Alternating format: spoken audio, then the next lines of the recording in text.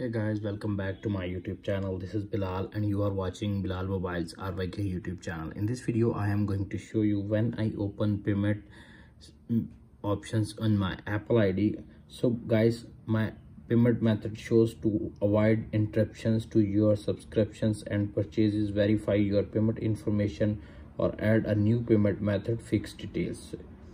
Here's our detailed steps to the fix the issue. For Apple users iTunes simply open the Apple ID tap on settings tap on the Apple ID tap on payment and shipping tap on it. Sign in with your Apple ID password it prompt wait 5 to 10 seconds. You can see appears on screen. Verify that your payment information is correct and up to date. Simply enter CVV code and tap on done. Wait 5 to 10 seconds.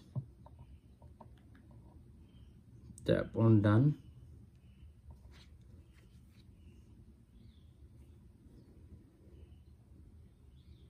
You can see appears on screen. Payment method is problem is fixed.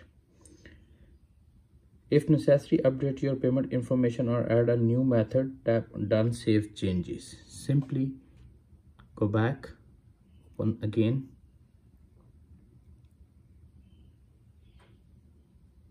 you can see appears on screen not showing fix that's it after watching this video i hope you will all know how to fix to avoid interruptions to your subscriptions and purchases verify your apple id information or add a new payment method on Apple Pay. If video is helpful for you, please don't forget to share and subscribe my YouTube channel. Thanks for watching.